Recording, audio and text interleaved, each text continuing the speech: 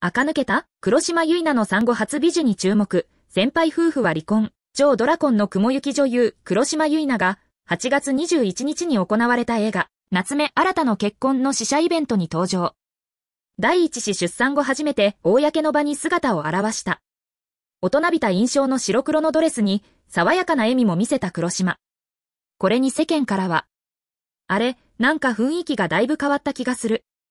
化粧が濃いのかな、肌が妙に白くなった。美人だけど前の方が健康的だったよね。もっと田舎臭いイメージだったんだけど、急に垢抜けた。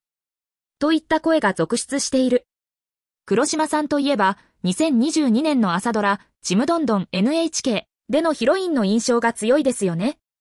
このドラマは1964年のアメリカ統治下の沖縄から始まる物語で、黒島さんが演じた比嘉信子は少年っぽさもある元気な女の子のキャラクター。この役柄で一気に知名度が上がったため、黒島さんには少し垢抜けないイメージがついているのかもしれません。芸能ライター。席を入れる予定はない。ちむどんどんで黒島の部役を演じたのが、私生活でも黒島のパートナーになる俳優の宮沢ひよだ。二人は席を入れておらず、今年1月に妊娠を発表した際に宮沢は、お互いに入籍という形にはこだわっておらず、現時点では席を入れる予定はありません、とコメントしている。事実婚ではありますが、超ドラコンを果たし、無事にお子さんも出産した黒島さん。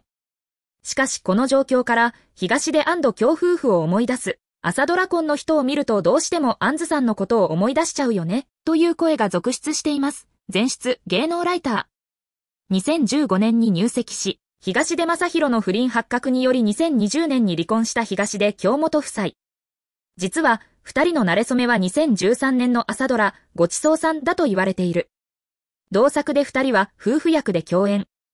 2016年には子供も授かっており、確かに黒島宮沢カップルもかなり似た状況になっている。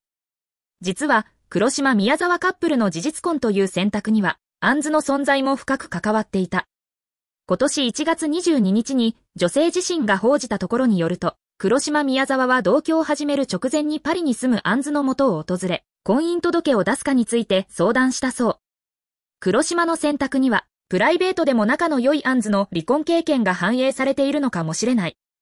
東で京本夫妻のケースと似ているとはいえ、今のところは順調そうな黒島宮沢カップル。